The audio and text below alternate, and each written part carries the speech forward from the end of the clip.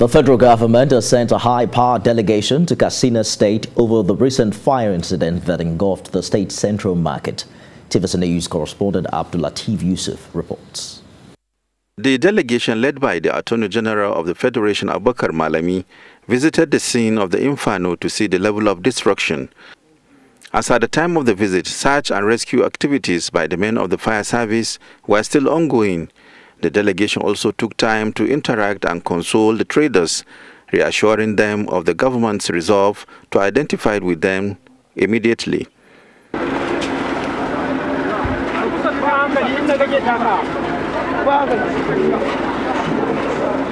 The team also visited the Emir of Katsina to commiserate with him over the incident and pray for God to avert future reoccurrence.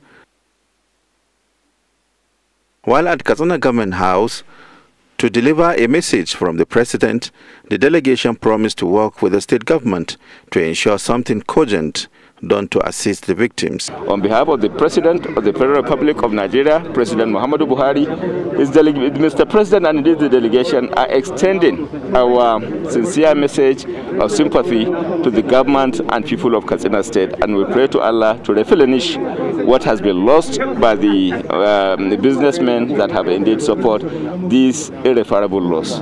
Governor Masari appreciated the concern of the federal government and prayed to God to strengthen the victims for their losses.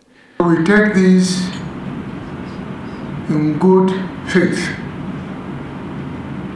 Certainly in Katsina State we have never witnessed the magnitude of disaster in terms of fire outbreak like this one.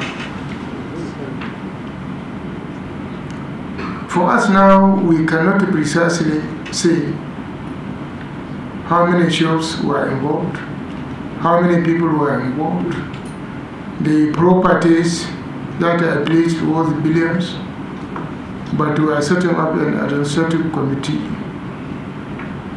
to find out the root causes,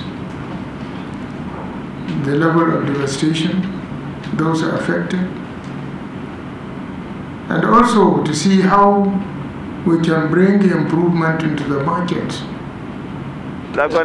now the hope of many rests on the state and the federal government in providing a relief package for the affected traders. Abdul Latif Yusuf, TVC News, Katsina.